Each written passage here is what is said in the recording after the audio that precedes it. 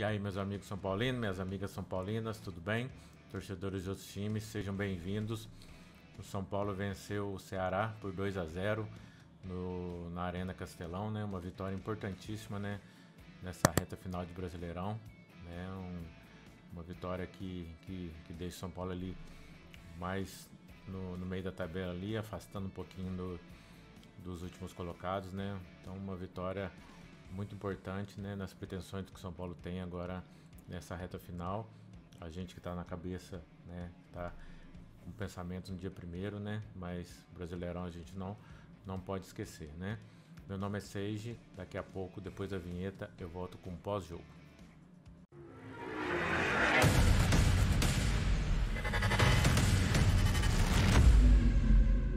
Retornando aqui, meus amigos e minhas amigas, para mais um vídeo de pós-jogo no canal Dr. São Paulino. Né? Deixe os comentários aí embaixo, né? O que vocês acharam da atuação do São Paulo, né? Vocês acharam que o São Paulo foi bem, né? Mereceu vitória mesmo, né? Poderia ter feito mais, né? Com dois jogadores a menos em campo, né? O Ceará, né? Então, né? Deixe os comentários aí embaixo e aproveite também, deixe um like, né? Que ajuda muito na divulgação do canal. Se você não for inscrito, se inscreva, né? E acione o sininho para receber as novas notificações. Né? Lembrando que a gente está aí na, na, na campanha para, o, para os mil inscritos, né? né? Fizemos a campanha para os 500 inscritos e agora estamos no de mil inscritos, né? Vamos fazer um sorteio aí também, tá? Estou elaborando agora, né? Essa semana agora o sorteio, né? Mas já adianta aí que vai ter uma camisa do São Paulo, né? Oficial, tudo, né? E mais algumas coisinhas aí que eu, que eu tô planejando aí, mas, né? Então se inscreva aí, né? Pra, você poder participar desse sorteio aí, né? Quando chegar a mil inscritos, a gente vai, vai fazer sorteio aí para, para, para um inscrito ou para, para mais alguns, né? Tô, tô elaborando aí, então, então não perca a chance aí, né? E se inscreva no canal. O, começando aí a falar do jogo, né?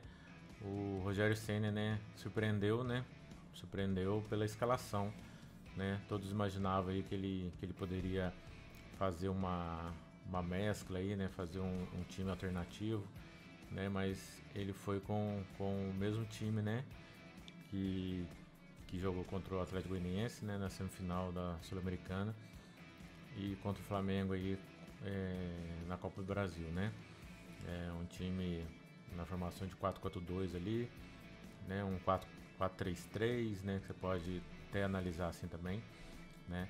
Então, um, um, um, time bem ofensivo, né? Assim, pelo menos na teoria. Né? Então, achei que o Rogério foi bem, bem ousado, né? Achei que ele, que ele, eu achei que ele ia poupar alguns jogadores ali, né? Por, por causa do, dessa viagem para o Ceará, né? O campo ali um, um pouquinho é, um pouquinho não, né? O campo lá é, é bem ruim, né? E tem possibilidade, por causa desse campo aí, um, algum jogador lesionar, né? E depois ficar fora da, da final sul-americana, mas o Rogério não poupou ninguém, né? Só ali o, o, o Reinaldo, né? Porque eu, eu, entendo como o Reinaldo como sendo titular mesmo do São Paulo. Mas ele sempre reveza ele com o Wellington, né? Então o time, o time titular do São Paulo, né? Vamos Vamos, vamos colocar aqui para vocês. Então o Senna entrou com, com essa escalação, né? Felipe Alves, né, que é o goleiro titular agora, né? Rafinha de lateral direito, a, a dupla de zaga Diego Costa e Léo e na lateral esquerda o Wellington, né? No meio de campo Pablo Maia, Nestor, Patrick e Alisson, né? E na frente, né, os dois conhecidos aí, Luciano e Caleri, né? Então, o Rogério, é, para mim, foi surpresa, né? Para mim, eu, eu, eu, entenderia que ele, que ele pouparia alguns jogadores, né? Assim, um Caleri ou Nestor, né? Pensando mais na final do, da Sul-Americana, né? E ele não, foi com, com o time titular mesmo, né? Tá? E aí o jogo começou assim, um pouco um pouco pegado, né? Tá? Os jogadores, né? Os jogadores né, muito nervosos, né? Tá, é, abusando muito de faltas, né? E, e assim, os times não tiveram tanta, tantas oportunidades né, durante todo o jogo, né? E no primeiro tempo, é, o São Paulo ali começou a ter uma, uma chance ali só no, aos 11 minutos, né? Com, com o Pablo Maia, né? Que chutou de longe ali, né? Tá? E depois foi ter um, o São Paulo foi ter uma chance aos 23 minutos, né? Que, que aí saiu o gol do Caleri, né? O Caleri tentou, tentou um chute ali na pequena área, né? O goleiro defendeu. A bola, bola sobrou pro Patrick, né? Patrick conseguiu cruzar de novo pro, pro Caleri, né? Cabeceou é, para baixo, assim, sem defesa pro goleiro. São Paulo 1 a 0 Mas assim, o gol, o gol foi. A gente pode, pode considerar como um gol achado, né? É, não foi nada assim que o São Paulo estava em cima do Ceará, nada, nada assim, né? Um jogo até morno, né? Não teve, não teve muitas emoções até então, né? Tá? E aos 27, né? O Caleri tentou ali na área também, mas né, ele chegou ali, né? Sozinho, quase praticamente sozinho, mas o, o, o Richard, né? Conseguiu alcançá-lo, né? E travou na hora do, do chute do Caleri ali. Era praticamente o segundo gol do São Paulo, né? Mas o Richard conseguiu é, fazer uma boa antecipa antecipação ali, né? Tá? E aos 28 o, o, o Nestor levou um cartão amarelo, né? E nesse momento também o Luciano né, reclamou também do, do cartão amarelo do, do, Nestor e tomou um cartão amarelo também, né? Luciano, né? Luciano eu sei que é importante pro, time de São Paulo, né? Mas né, ele tá vacilando muito nesses, nesses pequenos detalhes, né? Ah, tem a questão dos pênaltis lá, né? Mas isso eu já comentei em outras lives aí, né? E, mas esses cartões bobos, né, que ele tem tomado aí, né? É, o Rogério tem que conversar com ele, né? Tá? Porque né, num desse aí ele fica fora do, do jogo importante de São Paulo aí, né? Por, por um, um, um, cartão besta, né? Tá? E aos 34, né? Teve um pênalti é, marcado em cima do Caleri, né? O juiz marcou, né? E no Luiz Otávio, do Luiz, Luiz Otávio em cima do Caleri, né? E aí teve a demora do VAR analisando tal, né? Demorou praticamente sete minutos, né? Sete minutos até a cobrança do até a cobrança, né? Da, da falta, né? Porque o juiz acabou anulando essa marcação, né? O VAR, aliás, acabou anulando a marcação né, por entender que, que foi fora da área a falta, né? Eu olhei, né, revi o replay, né, para mim foi dentro da área a falta. Para mim foi pênalti, né? E aí o, o árbitro que tinha marcado o pênalti, né, convicto, aí foi chamado pelo VAR para olhar o monitor lá, e aí, né, né, vamos esperar agora a CBF liberar os áudios aí pra gente, pra gente ouvir, né? Pra ver o que, que foi a conversa deles ali, né? Mas, né, uma arbitragem péssima nesse jogo, né? Daqui um pouquinho a gente fala mais sobre isso. É, péssimo, né?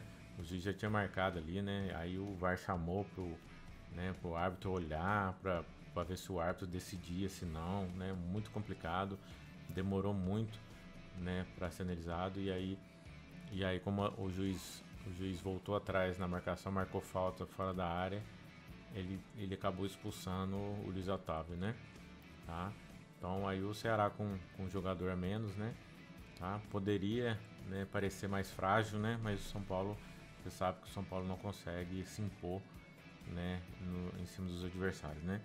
E aí na, fa na falta ali, na cobrança, o Pablo Maia é, bateu bem, né? O, o, João Ricardo, né, o goleiro, defendeu bem, né? Tá?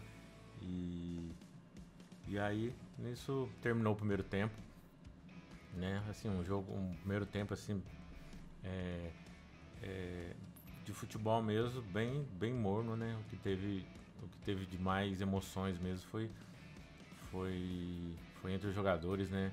Os jogadores, né? Se pegando ali, né? É um tapa no outro, né? E o juiz, o juiz muito conivente. Né, eu tinha falado no, no vídeo pré-jogo, né? Vocês podem olhar aí. Eu falei, né? Esse árbitro aí é, é inexperiente, né? É o terceiro jogo dele na Série A, né? Então, né? Esperar que ele faça um bom jogo, né? Mas você viu que ele, que ele, que a inexperiência, né? Foi, foi preponderante nessa, nessa, nesse jogo aí, né? E aí no intervalo o, o, o CN, né, né por por estar tá três jogadores é, com um jogador a mais, né? Ele acabou fazendo três substituições. Né? Tirou o Rafinha, o Nestor e o Luciano e colocou o Igor Vinícius, Galopos e o Bustos, né? É, principalmente o Nestor e o Luciano que, que estavam com cartão amarelo, né? Acho que acredito que ele, ele pensou isso, né? O Rafinha, o Rafinha saiu porque antes ali do intervalo ele começou a passar mal, né? Parecia que ia que, que, tava, que ia ter vômitos, né? Ali parece que ele tava né, com ânsia, né? E aí eu acho que aí ele acabou sendo sacado mesmo por causa disso, né? Tá? E aí no, no segundo tempo também um, um, jogo também morno, né? né? O São Paulo não conseguiu se impor, né? Com, com um jogador a mais, né? E aos nove, aos nove minutos o Galopo cabeceou uma bola para fora, né? E, e aos 20, né? Aos 20 o Galopo chutou perigosamente também e o, e o goleiro defendeu, né? E aos 23 o Pablo Maia chutou forte, né? De fora e o goleiro defendeu. E aos 24 o Busso errou um chute ali, né? né? E aí ficou fácil para o goleiro, né? Eu acho que essa cabeçada do Galopo, acho que ele conseguiu cabecear para fora, né? né? E aí na, na, na volta o, o, o Busso também errou o chute, né? E aos 26, aí o Rogério mexeu de novo, né? Tirou o Alisson, né? Colocou o Marcos Guilherme. E aos 37 tirou o Patrick e colocou o Igor Gomes, né? Tá? Aos 39, né? O Zé Roberto, atacante do, do Ceará, fez uma, uma agressão, né? Agrediu o, o Diego Costa e, e foi expulso, né? É, também é ótima expulsão, né? Foi perfeito a marcação do árbitro, né? O árbitro que que assim, no primeiro tempo estava muito complicado, no segundo tempo ele conseguiu ele conseguiu amenizar um pouquinho, né? Tá? E aos 47 saiu o gol do gol do Bustos, né? O Marcos Guilherme lançou lançou o Igor Gomes, né? O Igor Gomes entrou ali atrás da zaga pela direita e, e aí cruzou, o Bustos antecipou a zaga e, e ali chutou, né? Sem chance pro goleiro, né? Eu acho que até ele errou o chute, né? E, mas morreu, morreu dentro da rede a bola. Né? São Paulo 2, Ceará 0, né? Uma vitória importantíssima aí. Né?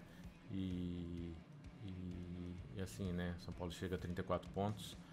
Né? Então um, um jogo, uma vitória né? É importante né? fora de casa ainda, né? Com um adversário bem difícil.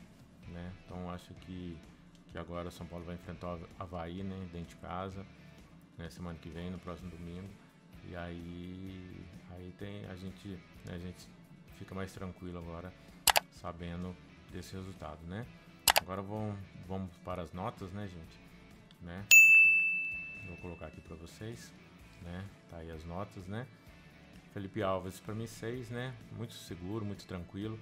Né? Tem um lance ali que ele que ele foi dar um chutão e errou o chute. A bola pegou ali no jogador do, do Ceará, né? Mas, é, mas de resto também não foi tão exigido, né? Tá? Mas para mim é, no momento é, é, titular mesmo absoluto do São Paulo, né? Rafinha para mim 6,5, né? Não comprometeu. É, tentou avançar um pouco no ataque ali, né? Mas né, mais tranquilo, né? Mas não comprometeu para mim ele saiu para entrar do Igor Vinícius, né? Igor Vinícius 6, né? Jogou também bem, né? Nada de muito especial. A dupla de zaga, né, para mim foi muito bem, né? Diego Costa, Léo 7,5, né? Acho que foi eh, foi muito seguro, né? Jogando, né? Eles estão jogando agora é, em dupla, né? É, um esquema diferente que o Ceni vinha usando aí, eles estão estão mantendo ali o, o nível, né? o Wellington 7, né? Para mim o Wellington é muito bem, né? Participou muito de jogadas de ataque, né? Só que ele tem que, que saber, é, é, assim, né? Aprender a cruzar, né? Às vezes ele peca muito nesse fundamento, né? Pablo Maia 6,5, né? Pablo Maia para mim foi bem, né? Participou de algumas, algumas, as jogadas de ataque, né? Chutou é, algumas bolas, né? Bateu uma falta muito bem, né? E o Nestor 6, né? Ele ficou, participou só do primeiro tempo, né?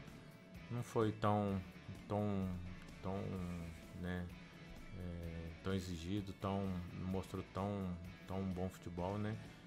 Mas, né, assim, pela vitória do São Paulo, né? Nota 6 para ele. Ele saiu para entrar do Galo, o Galo para mim entrou muito bem, entrou com uma vontade, né? Entrando na área, né? Teve chance e esse garoto está tá precisando de um gol, né? Para acho que para dar uma alavancada mesmo, né? Na, nessa nesse início de São Paulo aí, né? Patrick nota 7 também, né? Tentou algumas coisas, né? Daquele jeito, aquele jeito Patrick mesmo, né? E aquele cruzamento que ele deu pro, pro Caleri ali, né? Então, muito especial, né? Ele saiu para entrada do, do Igor, do, ele saiu para entrada do Igor Gomes. O Igor Gomes também nota 7, né? Tá? Até jogou poucos minutos, né? Mas o, o cruzamento ali que ele deu pro gol, né? Então, ali a gente, né, não tenho já não tenho dificuldades para elogiar o Igor Gomes, né? Quando quando é necessário preciso, né? Quando quando ele joga bem, né? Então, para mim ele foi muito bem, né? Ele, ele, ele olhou bem a jogada, analisou, né? A, a, a jogada ali, né? E, e, passou por trás da zaga ali, né? Então, para mim, né? Para mim nota 7 para ele. O Alisson 6,5. O Alisson esforçado, né? Brigou, né? Mas eu acho que o Alisson ainda não, não tá naquela forma física ideal, né? Ele saiu para a entrada do Marcos Guilherme, 6,5, né? Marcos Guilherme que a gente tem ali o um probleminha, né, né, por causa do futebol dele que não tá, não tá legal, né, mas o lançamento que ele deu ali pro, pro Igor Gomes, né, foi, foi, não digo, digo do de Gerson, né, mas quase, né, e o Luciano 6, né, o Luciano é, não foi bem, né, acho que o Luciano é, acho que o Luciano joga mais que isso que ele jogou hoje. Né? Então, para mim, uma nota 6 ele mais por, pela vitória do São Paulo, né? E ele saiu para entrar do Bustos, né? O Bustos, acho que o Bustos estava tentando, né? Se esforçando, né? Errando algumas coisas tal, né? Mas acho que ele entrou ali com uma vontade, né? E foi coroado com um gol ali, né? Então nota 7 para ele. E o Caleri, nota 8, né? Voltou a fazer gol, né? Que bom. A gente fica feliz que Caleri aí é, desse jejum aí, marcou um gol.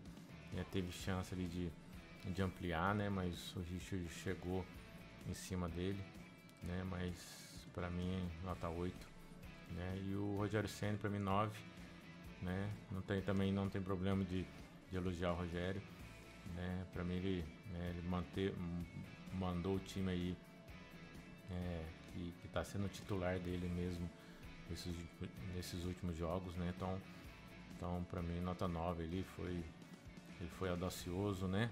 Foi em busca da vitória mesmo, né? Então, né, é, para mim é uma nota 9 para ele. E o prêmio pé de rato para mim a arbitragem, né? Muito mal, né? Esse árbitro inexperiente, né? Tá? Até por conta da, da idade dele e tal, não, não tem tantos jogos na Série A, né? Às vezes você sente a pressão, né? Mas né? Mas a gente tem que falar, né? Muito mal.